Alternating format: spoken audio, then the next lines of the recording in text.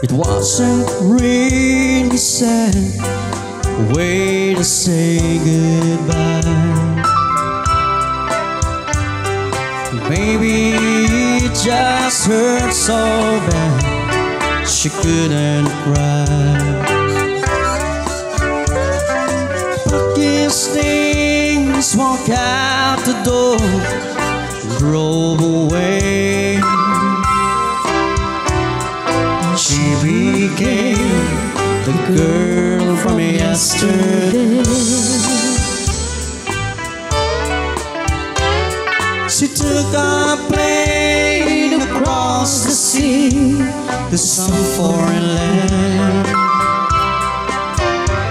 She stayed at home and tried so hard to understand